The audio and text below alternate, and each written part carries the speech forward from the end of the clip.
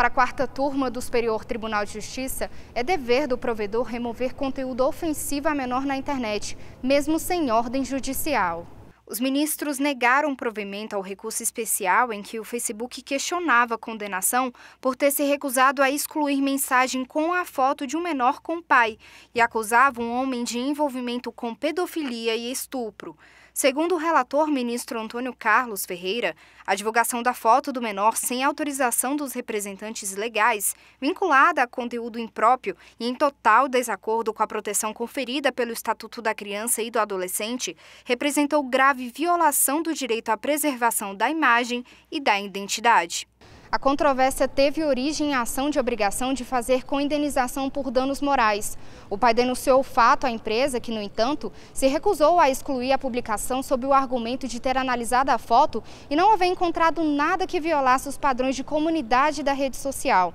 Em sentença confirmada pelo Tribunal de Justiça de Minas Gerais, o Facebook foi condenado a pagar 30 mil reais para as vítimas, a título de danos morais. No recurso ao STJ, a empresa invocou a lei referente ao marco civil da internet, segundo o qual o provedor só poderá ser responsabilizado civilmente por danos decorrentes de conteúdo gerado por terceiros, se deixar de cumprir ordem judicial específica para torná-lo indisponível.